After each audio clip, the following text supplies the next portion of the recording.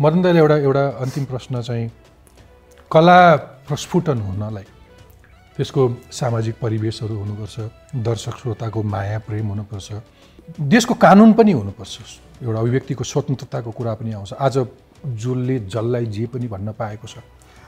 तर तपाईँहरूले त एउटा यस्तो कालखण्ड पनि बिहोर्नुभयो प्रारम्भमा कि बोल्नलाई रोक लगाइन्थ्यो तपाईँको स्क्रिप्ट कसैले रातो कलमले यो बोल्न पाउँछ यो बोल्न पाउँदैन भनेर कार्ड दिन्थे होइन?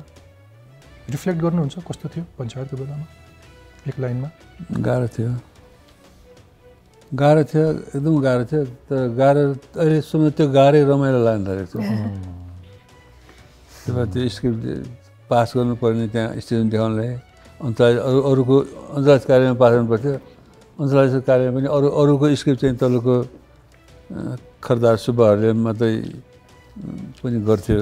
हाम्रो चाहिँ अन्तर्राष्ट्रिय सहायक अन्तर्राष्ट्रिय नै सेन्सर गर्थ्यो कि एकदम कडा गर्थ्यो। त्यो अन्तर्राष्ट्रियले त्यो सेन्सर पास गराउनलाई त्यहाँ हामीले ट्रिक गर्नु पर्थ्यो त्यहाँ भन्न नदिने कुराहरू सबै काटेर भन्न दिने कुरामा ठ्याक ठ्याक राखेर टक्राउँथ्यौँ त्यहाँ। टाइटल चाहिँ त्यो राखेर अनि पास गरेर देखाउने अनि स्टेजमा आएपछि आफू खुसी ओके। भन्थ्यौँ। ओके। एउटा एउटा एउटा काल्पनिक प्रश्न। सिनेमामा जस्तै प्रशस्त सिनेमाहरू खेल्नमा सिनेमामा जस्तै रिवाइन्ड गरेर टक्क अडिन मन लागेको कुनै एउटा कालखण्ड।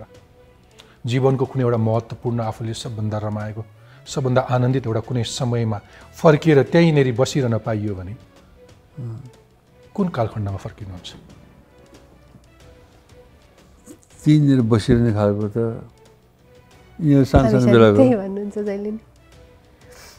हामी सानो सानो हुँदाखेरि मम्मी हुँदाखेरि त्यो छोटो time- सानो सानो बेलाको जिन्दगी एकदमै जिन्दगीको प्राइम जिन्दगी अहिले पनि सानै छु नि म त्यसरी सोच्नु